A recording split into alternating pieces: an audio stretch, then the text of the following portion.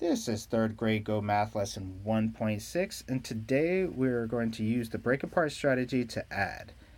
So the directions say estimate, then use the break apart strategy to find the sum.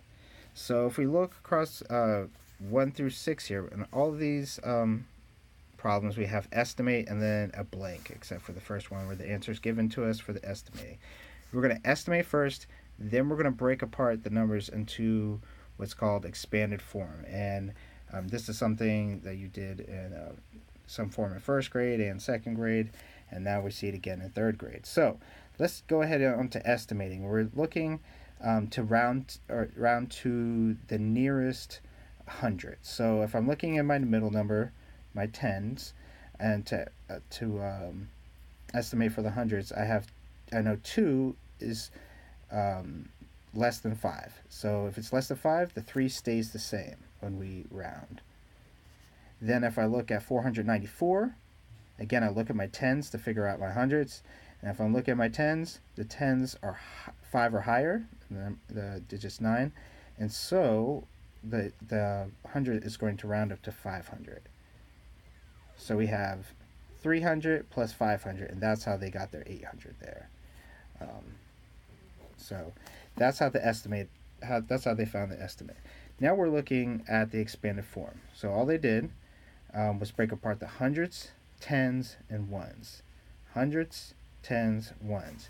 So three hundreds, two tens, or 20, and five ones. Four hundreds, nine tens, or 90, and four ones. Then they um, went ahead and added these vertically and so 5 plus 4 is 9.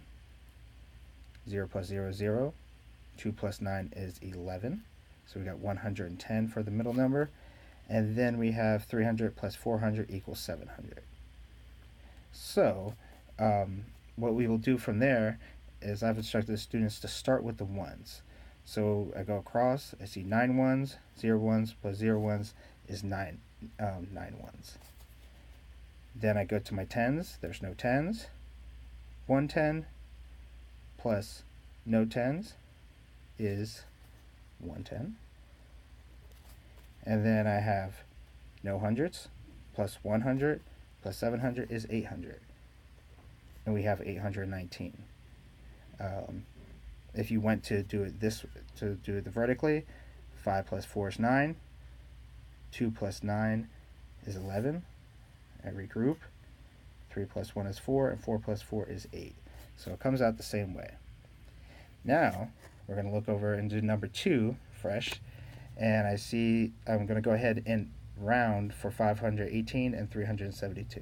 So 518, um, to round to the nearest 100, I need to look at the tens, which they're 110, and those tens um, make the, the only 110 makes this number stay the same since it's less than the 5 tens. So we have 500. Then I look at the tens of 372, and there's seven tens. That is um, five or higher. So this is going to round up to 400 from 372. So to estimate, I add 500 plus 400, which is 900. So now I'm going to go ahead and do the expanded form like we did over here, or that was done over here already. So again, hundreds, tens, ones, hundreds, tens, ones. So we're going to do 500 plus 10. There's 110. And 8 ones. 500 plus 10 plus 8 is 518. Now we're going to break apart the hundreds, tens, and ones for 372.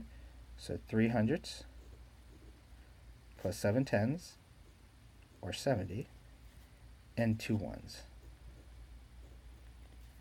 I'll draw a line here. And then we're going to add going vertically. And make sure this is clear. This is a 7. So we have 8 plus 2, which is 10. So we're going to go ahead regroup. Actually, I'm not going to regroup. I'm going to add 10. I'm going to make it like that. Then 10 plus 70 is 80. Then 500 plus 300 is 800. So Now we're going to go ahead and add um, add going across. Remember, start with your ones. Don't start with the hundreds. Don't start with the tens. Start with the ones. So I have 0, 1, 0, 1, 0, 1s. 8 plus 2 is 10, so that makes sense. Now look at my tens. 1 10 plus um, 8 tens is 9 tens. And then we have 0 tens, so that's still 9 tens. And then I have no hundreds, no hundreds, and there's 800. So my answer, just like if I do it vertically, is 8 plus 2 is 10. Regroup. Two ones plus 7 makes 9. 5 plus 3 is 8. So 890. And that is how we use the break apart strategy to add.